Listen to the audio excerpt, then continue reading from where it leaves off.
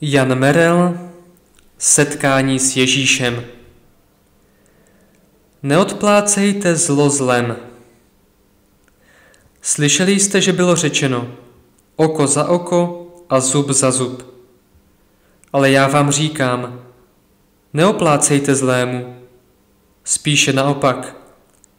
Když tě někdo udeří na pravou tvář, nastav mu i druhou. A tomu, kdo se chce s tebou soudit a vzít tvé šaty, tomu nech i plášť. A když tě někdo nutí, abys ho doprovázel jednu míli, jdi s ním dvě. Tomu, kdo tě prosí, dej a od toho, kdo si chce od tebe vypůjčit, se neodvracej. Ve starověkém zákonodárství se nejednou vyskytuje dovolení odplaty bezpráví, takzvaný lex talionis, odvozený ze zásady talis pena qualis culpa, to je, jaká vina, takový trest. Zásada byla prohlášena například Solónem v Řecku a byla přijata i do římského práva, do zákona 12 desek. Na počátku tohoto století byl francouzskou vědeckou výpravou nalezen v Susách zákonník budovatele staré babylonské říše Chamurabiho. Tam jsou stanoveny velmi tvrdé zásady odvedného práva. Odvetné právo se vyskytuje i v zákoně izraelském. Tak čteme v Exodu. Ať dá viník život za život, oko za oko, zub za zub, ruku za ruku, nohu za nohu, spáleninu za spáleninu, ránu za ránu, modřinu za modřinu. Nám, kdo jsme vyrostli v křesťanství, se zdá tento zákon, vyskytující se dokonce i v Bibli, nepochopitelný. Ale měl také svůj cíl.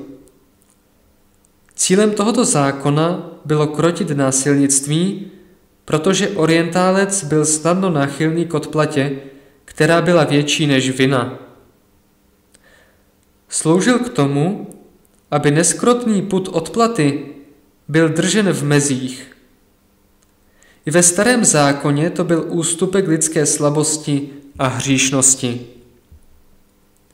Oproti tomu míní Ježíš, že tato zdánlivě samozřejmá zásada odplaty, zásada, na níž se zdál být vybudován tehdy pořádek světa a bez níž, jak se mínilo, nebylo možné spolužití lidí, nevyvádí ze začarovaného kruhu úderu a protiúderu a spoud zla.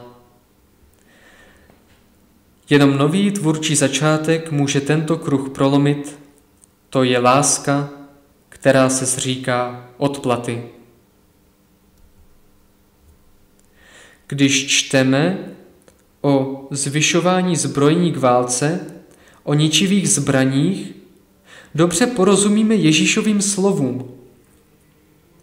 Pouze láska zlomí tuto moc. Tím se ovšem neříká, že lidská soudní pravomoc nemá přivádět vyníka k napravení škody a ke změně smýšlení. Ježíš Kristus opět zdokonaluje starý zákon. Nikterak nechce rušit právní řád, jeho slova nejsou proti světskému zákonodárství. Světská moc má nejenom právo, ale i povinnost hájit práva poddaných a trestat ty, kdo právo porušují. To, co Kristus v horském kázání požaduje, není otrocká morálka, ale heroismus, vysoký stupeň sebepřemáhání a velkodušnost. Proti zákonu odplaty postavil zákon lásky. Na několika lidových, skoro paradoxních příkladech ze života ukazuje smýšlení nového člověka. Samozřejmě je třeba vzít zřetel na to, že nejde o kazuistické návody, nýbrž o příklady. První příklad mluví o úderu na tvář. Úder, políček, bývá zpravidla do levé tváře. Protože se rána týká pravé tváře, je třeba myslet na zvláště potupný a bolestný úder. Podle Talmudu bylo udeření hřbetem ruky, tedy úder na pravou líc, zvláště potupné. Za takový úder se požadovalo dvojnásobné bolestné. Druhý příklad mluví o ponechání pláště v případě soudní pře. Vrchní plášť byl totiž hlavní součástí palestinského oděvu. Chudým sloužil i za noční přikrývku, takže byl šatem zákonem chráněným.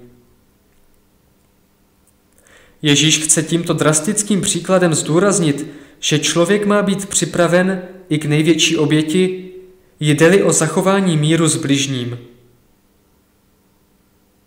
Třetí příklad je vzat ze situace okupačního práva.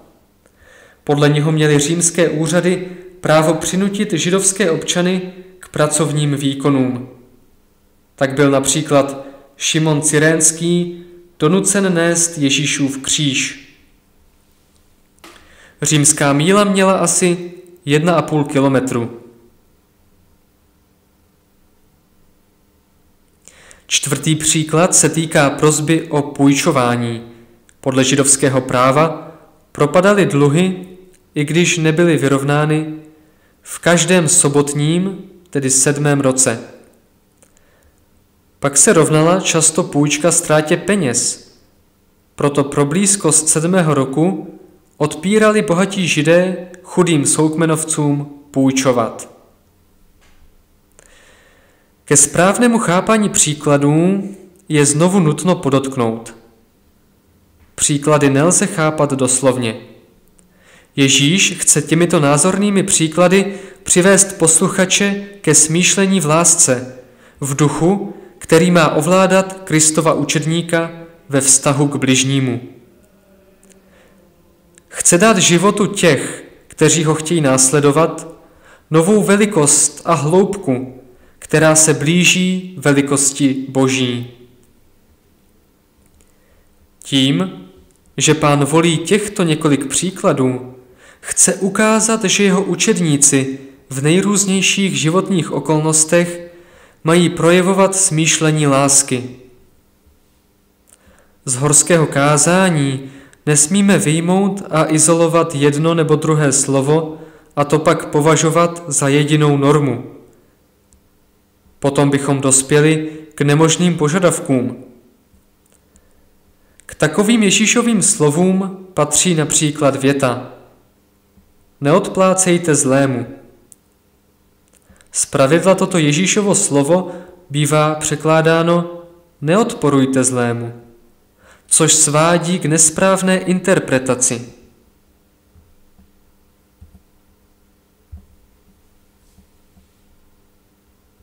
Ze souvislosti horského kázání je zřejmé, že je to výzva. Neodplácej zle tomu, kdo ti činí zlo. Jednotlivé věty horského kázání, a to platí o Bibli vůbec, mají svůj smysl a jsou jednoznačné a jasné v souvislosti celé nauky Kristovi. Kristovi požadavky jsou pak něčím, co je z boží milostí možné. V tomto případě je to požadavek velkodušnosti, oproštění se od egoismu.